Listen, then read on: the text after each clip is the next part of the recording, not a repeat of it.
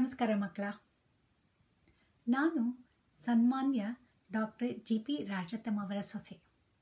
ನನ್ನ ಹೆಸರು ಶೈಲಾ ಶ್ರೀಧರ ರಾಜರತ್ನಂ.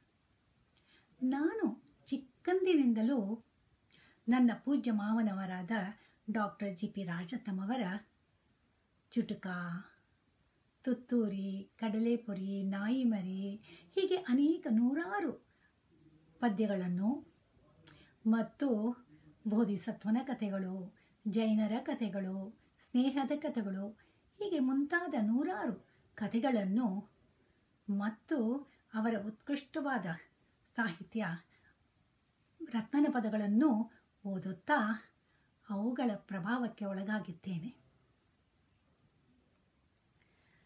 ನಿಮಗೆ ಇವರು ಬರೆದ ಕಥೆಗಳನ್ನು, ಪದ್ಯಗಳನ್ನು ಹೇಳಲು ಬಯಸಿ ಬಂದಿದ್ದೇನೆ ಮಕ್ಕಳ. ಜಿಂಕೆ ರಾಜಧರ್ಮ. ಈ ಕತೆ ಡಾಕ್ ಸನ್ಮಾನ್ಯ ಡಾಕ್ಟರ್ ಜಿ ಪಿ ರಾಜತ್ತಮ್ಮವರ ಮಕ್ಕಳಿಗಾಗಿ ಬರೆದ ಕಥೆಗಳಿಂದ ಆರಿಸಲಾಗಿದೆ. ಮನುಷ್ಯನಾದವನು ಕೂಡ ಮೃಗಗಳನ್ನು ನೋಡಿ ಕಲಿಯಬೇಕಾದ್ದು ಉಂಟು.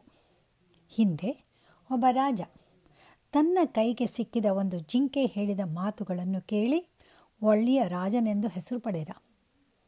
ಅವನು ಕಾಶಿ ರಾಜ್ಯದ ದೊರೆ. ಬೇಟೆ ಎಂದರೆ ಅವನಿಗೆ ಪ್ರಾಣ. ಮಾಂಸವಿಲ್ಲದೆ ಅವನು ಊಟ ಮಾಡುತ್ತಿರಲಿಲ್ಲ. ಜಿಂಕೆಯ ಮಾಂಸವೆಂದರೆ ಅವನಿಗೆ ತುಂಬ ಪ್ರೀತಿ. ಕಾಶಿ ರಾಜ್ಯದಲ್ಲಿ ಒಂದು ಕಾಡು. ಅದರೊಳಗೆ ಸಾವಿರಾರು ಜಿಂಕೆಗಳು ಇದ್ದವು. ಅವುಗಳಲ್ಲಿ ಎರಡು ಗುಂಪು.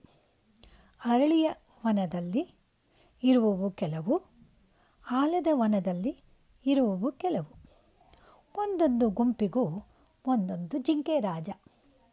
ಒಂದರ ಹೆಸರು ಅರಳಿಯ ಜಿಂಕೆ, ಇನ್ನೊಂದರ ಹೆಸರು ಆಲದ ಜಿಂಕೆ. ಏನೋ ಒಂದರ ಹೆಸರು ಅರಳಿಯ ಜಿಂಕೆ, ಇನ್ನೊಂದರ ಹೆಸರು ಆಲದ ಜಿಂಕೆ.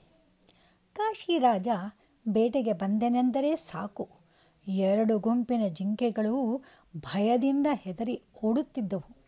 ಕೆಲವು ಎಡವಿ ಬಿದ್ದು ಕಾಲು ಒಡೆದುಕೊಳ್ಳುವವು. ಕೆಲವು ಅವಸರದಲ್ಲಿ ಮರಕ್ಕೆ ತಲೆ ಹೊಡೆದುಕೊಳ್ಳುವವು. ಕೆಲವು ಜೊತೆಯ ಜಿಂಕೆಗಳ ಕೊಂಬುಗಳಿಗೆ ಸಿಕ್ಕಿ ಗಾಯಪಡುವವು. ರಾಜನು ಅವನ ಪರಿವಾರದವರೂ ಹತ್ತು ಜಿಂಕೆಗಳನ್ನು ಹೊಡೆದು ಕೊಂದರೆ ಜಿಂಕೆಗಳ ನುಗ್ಗಾಟದಲ್ಲಿ ನೂರಾರು ಜಿಂಕೆಗಳು ನೋಯುತ್ತಿದ್ದವು, ಸಾಯುತ್ತಿದ್ದವು. ಇದನ್ನು ನೋಡಿ ಅರಳಿಯ ಜಿಂಕೆ ಒಂದು ಸಲ ಏನಾದರೂ ಮಾಡಿ ಈ ಅನವಶ್ಯಕವಾದ ನೋವು ಸಾವುಗಳನ್ನು ತಪ್ಪಿಸಬೇಕಲ್ಲ, ಏನು ಮಾಡಲಿ ಎಂದು ಯೋಚನೆ ಮಾಡಿತು. ಆಗ ಅದಕ್ಕೆ ಒಂದು ಉಪಾಯ ಹೊಳೆಯಿತು.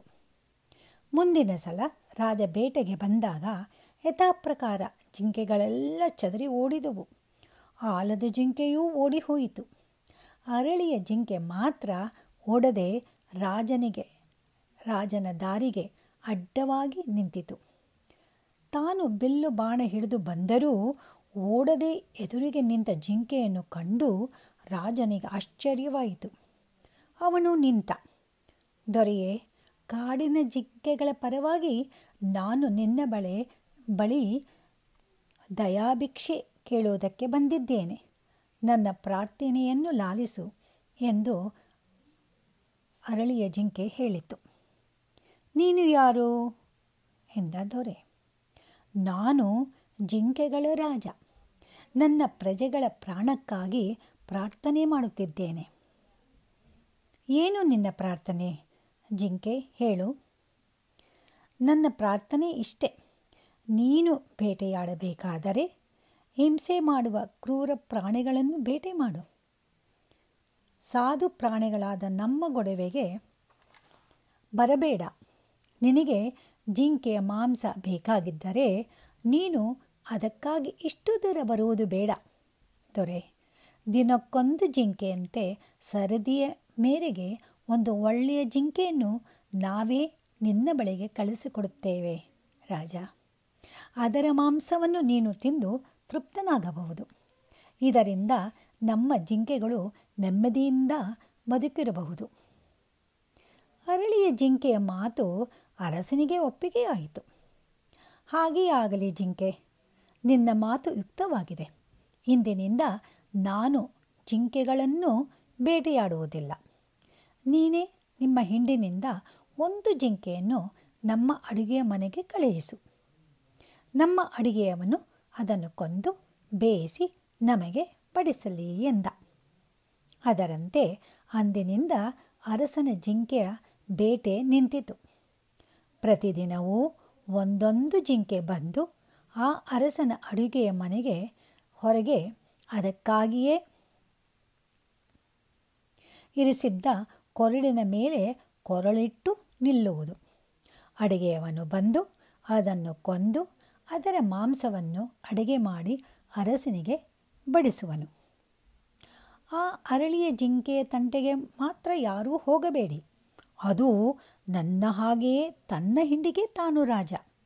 ಅದಕ್ಕೆ ಯಾರಾದರೂ ಹಾನಿ ಮಾಡಿದರೆ ಅವರ ತಲೆ ತೆಗೆಸಿಯೇನು ಎಂದು ದೊರೆ ಆಜ್ಞೆ ಮಾಡಿದ. ಹೀಗೆ ಕೆಲವು ಕಾಲ ಕಳೆಯಿತು. ಒಂದು ದಿನ ಆಲದ ಜಿಂಕೆಯ ಹಿಂಡಿನಲ್ಲಿ ಒಂದು ಹೆಣ್ಣು ಜಿಂಕೆಯ ಸರದಿ ಬಂತು.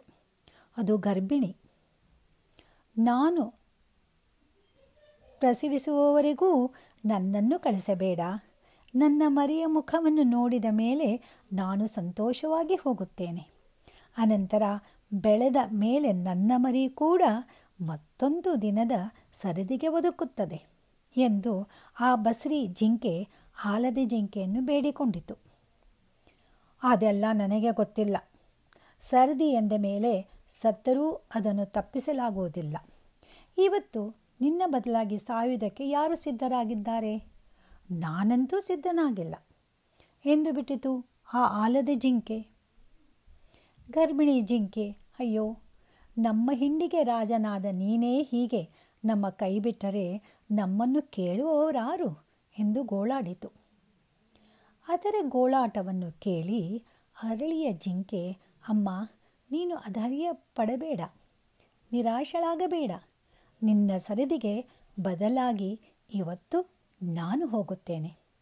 ನೀನು ಪ್ರಸವಿಸಿ ನಿನ್ನ ಮರಿಯ ಮುಖವನ್ನು ನೋಡುವವರೆಗೂ ನಿನ್ನ ಸರದಿ ಪುನಃ ಬಾರದಂತೆ ನೋಡಿಕೊ ಎಂದು ಆಲದ ಜಿಂಕೆಗೆ ಹೇಳುತ್ತೇನೆ ಎಂದಿತು. ಆಲದ ಜಿಂಕೆ ಅದನ್ನು ಕೇಳಿ ನಿನ್ನ ಬುದ್ಧಿ ನನಗೆ ಅರ್ಥವಾಗುವುದಿಲ್ಲ. ಅರಳಿ, ನಿನಗೆ ಬದುಕಿರುವುದು ಬೇಡವಾದರೆ ನಾನೇನು ಮಾಡಲಿ? ನೀನೇ ಹೋಗು. ಮರಿಯನ್ನು ಕಾಣುವವರೆಗೂ ಇದರ ಸರದಿ ಪುನಃ ಬಾರದಂತೆ ನಾನು ನೋಡಿಕೊಳ್ತೇನೆ. ಅಷ್ಟೇ ಎಂದಿತು. ಸದ್ಯಕ್ಕೆ ತಾನು ಬದುಕಿದನೆಂದು ಬಸ್ರಿ ಜಿಂಕೆಗೆ ಸಂತೋಷವಾಯಿತು. ತನಗೆ ಬದಲಾಗಿ ಅರಳಿಯ ಜಿಂಕೆಗೆ ಮರಣವಾಗುವುದೆಂದು ತಿಳಿದು ವ್ಯಸನಪಟ್ಟಿತು ಕೂಡ. ಅರಳಿಯ ಜಿಂಕೆ ಹೋಗಿ ಅರಸನ ಅಡುಗೆಯ ಮನೆಯ ಹೊರಗಿನ ಕೊರಳಿನ ಮೇಲೆ ಕೊರಳಿಟ್ಟು ನಿಂತುಕೊಂಡಿತು. ಅಡಿಗೆಯವನು ಬಂದು ನೋಡಿದ ಅರಳಿಯ ಜಿಂಕೆಯನ್ನು ಗುರುತಿಸಿದ. ದೊರೆಯ ಆಜ್ಞೆಯನ್ನು ಜ್ಞಾಪಿಸಿಕೊಂಡ. ಅರಸನ ಬಳಿಗೆ ಓಡಿ ಹೋದ ಅರಳಿಯ ಜಿಂಕೆ ಬಂದಿರುವುದನ್ನು ತಿಳಿಸಿದ. ದೊರೆ ಓಡಿ ಬಂದ. ಈ ಕೊರಡಿನ ಮೇಲೆ ಏಕೆ ಕೊರಳಿಟ್ಟುಕೊಂಡಿದ್ದೀಯೇ? ಜಿಂಕೆಗಳ ದೊರೆಯೇ ಎಂದು ರಾಜ ಕೇಳಿದ. ಒಂದು ಜಿಂಕೆಯ ಜೀವವನ್ನು ರಕ್ಷಿಸುವುದಕ್ಕಾಗಿ ನಾನು ಈ ದಿವಸ ನನ್ನನ್ನು ನಿನಗೆ ಒಪ್ಪಿಸಿಕೊಳ್ಳುತ್ತೇನೆ ಅರಸ ಎಂದು ಅರಳಿಯ ಜಿಂಕೆ ಬಸ್ರಿ ಜಿಂಕೆಯ ಕಥೆಯನ್ನು ಹೇಳಿತು. ಅದನ್ನು ಕೇಳುತ್ತಾ ಕೇಳುತ್ತಾ ಕಾಶಿರಾಜನ ಹೃದಯ ಮೃದುವಾಯಿತು. ನಿನ್ನದು ಎಂಥ ಸ್ವಾರ್ಥ ತ್ಯಾಗ ಅರಳಿ?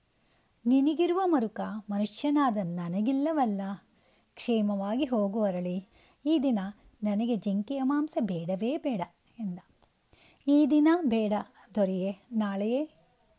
ನಿನ್ನ ನಡತೆಯನ್ನು ನಾನು ಮೆಚ್ಚಿಕೊಂಡಿದ್ದೇನೆ ಅರಳಿ. ನಿನಗೋಸ್ಕರವಾಗಿ ಇಂದಿನಿಂದ ನಾನು ಜಿಂಕೆಯ ಮಾಂಸವನ್ನು ತಿನ್ನುವುದು ಬಿಟ್ಟಿದ್ದೇನೆ. ನಿನ್ನ ದಯದಿಂದ ರಾಜ, ನಾವು ಜಿಂಕೆಗಳು ಬದುಕಿದ್ದವು. ಆದರೆ ನೀನು ಮಾಂಸಕ್ಕಾಗಿ ಬಯಸುವ ಇತರ ಪ್ರಾಣಿಗಳು ಏನು ಪಾಪ ಮಾಡಿದವು ದೊರೆಯೇ? ಎಂದರೆ, ನಾನು ಮಾಂಸ ತಿನ್ನುವುದನ್ನೇ ಬಿಡಬೇಕೆಂದು ಹೇಳುತ್ತಿದ್ದೀಯಾ ಅರಳಿ ದೊರೆ? ಮಹಾರಾಜ, ಮಾಂಸ ತಿನ್ನದೆ ನಾವು ಬದುಕುತ್ತಿಲ್ಲವೇ? ಮಾಂಸ ತಿನ್ನದೆ ಎಷ್ಟೋ ಮನುಷ್ಯರು ಬದುಕುತ್ತಿಲ್ಲವೇ? ನೀನು ಮಾಂಸವನ್ನು ಒಲ್ಲದೆ ಹೋದರೆ ಎಷ್ಟು ಪ್ರಾಣಿಗಳಿಗೆ ಜೀವದಾನ ಮಾಡಿದ ಹಾಗಾಗುವುದಿಲ್ಲ, ನೋಡು. ನಿನ್ನ ಮಾತಿಗೆ ನಾನು ಇಲ್ಲವೆನ್ನಲಾರೆ. ನಿನ್ನ ತ್ಯಾಗದ ಮುಂದೆ ನನ್ನದೇನು ಮಹಾ? ಎಂದಿನಿಂದ ನಾನು ಮಾಂಸ ಬಿಟ್ಟೆ. ಬೇಟೆ ಬಿಟ್ಟೆ. ನನ್ನ ರಾಜ್ಯದಲ್ಲಿ ಎಲ್ಲ ಪ್ರಾಣಿಗಳು ಇನ್ನು ಮುಂದೆ ನಿರ್ಭೀತಿಯಿಂದ ಕ್ಷೇಮವಾಗಿರಲಿ. ಹೀಗೆ ಹಿಂದೆ ಒಂದು ಜಿಂಕೆ ಒಬ್ಬ ರಾಜನಿಗೆ ಬುದ್ಧಿವಾದ ಹೇಳಿ ಅವನನ್ನು ಒಳ್ಳೆಯ ರಾಜನನ್ನಾಗಿ ಮಾಡಿತು. ಹೇಗಿದೆ ಮಕ್ಕಳ? ಕತೆ ಚೆನ್ನಾಗಿದೆ ಅಲ್ವಾ? ಹ್ಞೂ ನೋಡೋಣ. ಒಂದೊಂದು ಸರ್ತಿ ನಿಮ್ಗಳನ್ನ ಎಲ್ಲ ಒಳ್ಳೆಯದಾಗಲಿ ಬಾಯ್.